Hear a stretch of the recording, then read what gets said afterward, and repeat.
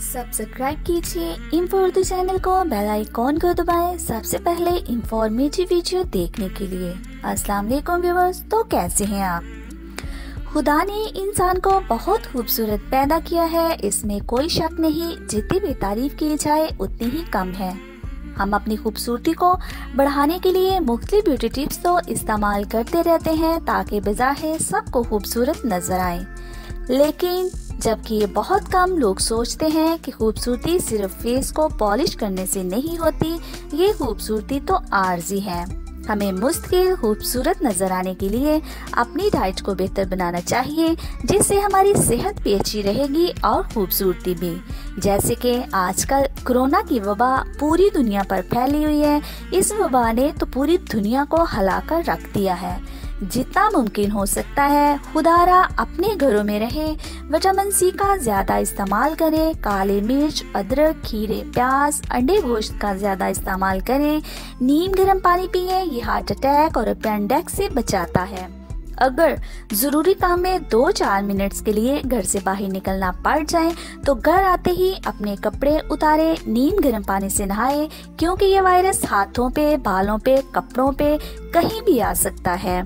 घर आते ही अगर आप नहा लेते हैं, कपड़े धो लेते हैं तो ये वायरस खत्म हो जाएगा। फैलेगा नहीं।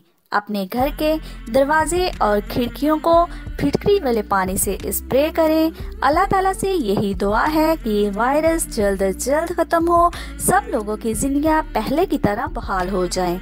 तो आइए शुरू करते हैं। जिसम की कमज़ोरी को दूर करने के लिए रोज़ाना चार खजूरों को खाना अपना मामूल बना लें। दुआ खाने के फ़ौरन बाद लेटने से परहेज करें। थोड़ी बहुत चहलकदमी के बाद लेटें। रोज़ाना पाँच बादाम खाने से कैंसर जैसी बीमारी से बचा जा सकता है। अपना मोटापा दूर करने के लिए रोज़ाना एक लीमू का इस्तेमाल करें। शाम पाँच बजे के बाद बहुत ज़्यादा खाने से परहेज करें। फ़ोन कॉल सुनने के लिए हमेशा बाएँ कान के साथ लगाएँ।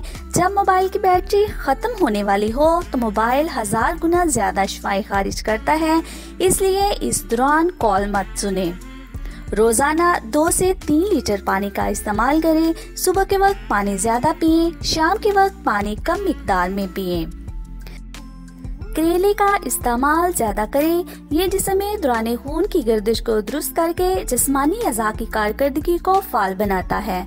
करेले में कैंसर के खिलाफ मुदाफत पैदा करने की सलाहियत मौजूद होती है, जिसके नतीजे में जिसम सेहतमंद तवाना हो जाता है। मसाने को बेहतर बनाने के लिए प्याज का इस्तेमाल करें। याद रखें कि प्याज का इस्तेमाल सिर्फ़ और सिर्फ़ दोपहर टाइम करें, रात के वक्त इसका इस्तेमाल इंतहाई नुकसानदा साबित होता है। जिगर को बेहतर बनाने के लिए फास्ट फ़ूड से परहेज करें। अगर आपको बुखार हो जाए तो तोरी का इस्तेमाल करें, ये रब की खास नेमत है। तेईस से अट्ठाईस ग्लूकोज से भरपूर होती है। ये कब्ज को दूर करती है और पेशाब को खोलती है। कमर के दर्द के लिए मेथी का ज़्यादा इस्तेमाल करें। अपनी आँखों की खूबसूरती और नज़र को ठीक रखने के लिए रोज़ाना सोने से पहले अपने पाँव के निचले हिस्सों पर तेल से मालिश करें। ये बुखार को दूर करने में भी मददगार साबित होती है। जी तो व्यूवर्स ये वीडियो देखने के बाद आपके जहन में ख्याल तो आया होगा कि अल्लाह ताला ने कोई भी चीज़, चाहे वो खाने की है या लगाने की, बेफायदा पैदा नहीं की। बस हम इंसान इनके फायद को ना जानते हुए इनका सही इस्तेमाल नहीं कर पाते। उम्मीद करती हूँ इस वीडियो को देखने के बाद आप इन सारी चीज़ों से ज़रूर फ़ायदा हासिल करेंगे। दुआ में याद रखिएगा। मिलते हैं अगली नई वीडियो में। नई मालूम के साथ अपना ख्याल रखिएगा। अल्लाह निगेबान